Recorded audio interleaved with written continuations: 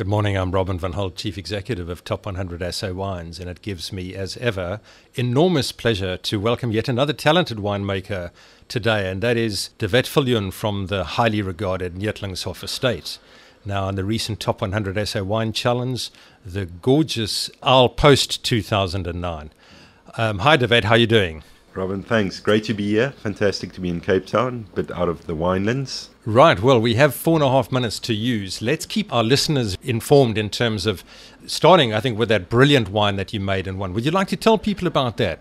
Sure. Um, the Owl Post is a pinotage, which we vinified from a single vineyard, and it's one of our premium vineyards. So for us, it's really. Uh, a bit of nature in harmony in the sense that it was the first vineyard that we uh, erected the Owl Post in, and because of that, we, we named that vineyard after the Owl Post wine, which is a Pinotage. Right, okay. And I, I know recently I opened a bottle of 1998 Lord Neethling Pinotage with American guests, and it was a phenomenal experience. So they certainly do age, don't they? They do, and, and of course that was the predecessor of, of the current Owl Post wine. Right. That's the beauty of Pinotage. Pinotage is fantastic. It just ages beautiful with time. I was just going to say the fact that you have a winning Pinotage is remarkable, but you also have a range of other wines, don't you? Both premium reds and whites. Would you like to talk about yeah, those? Yeah, sure. Um, we have currently we have three wines in our flagship range which is the Maria, which is a Noble Late Harvest, and the Caracal, which is a Bordeaux blend.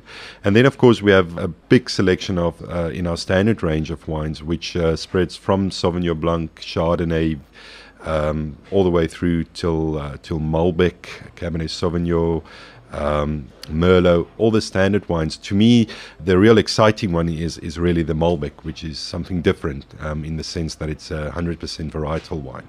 Right, and if wine loving listeners uh, wanted to acquire some of your fine wines, I know the cellar door experience is absolutely brilliant. The expertise, the friendliness, and of course the huge array of wines.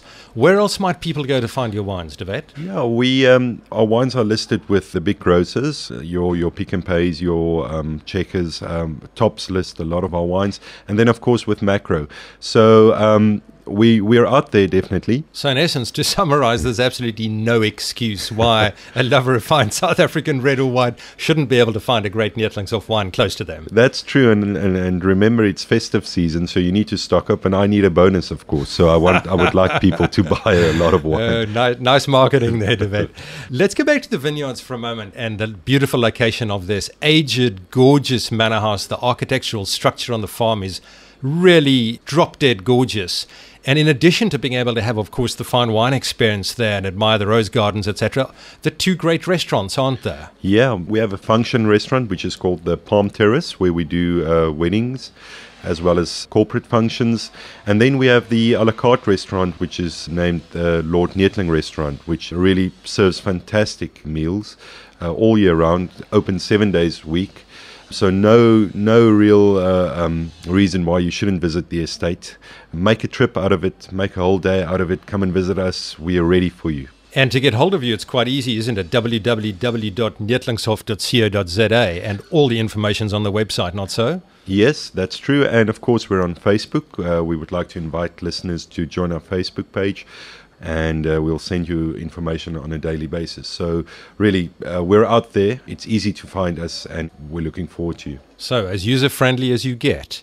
And let's just come back to the gorgeous Owl Post 2009. There's nothing better for Christmas lunch than a Neethlingshof Pinotage. I couldn't agree more. And if it's a bit warm outside, just chill the wine slightly. That's it. Thanks very much for joining us today.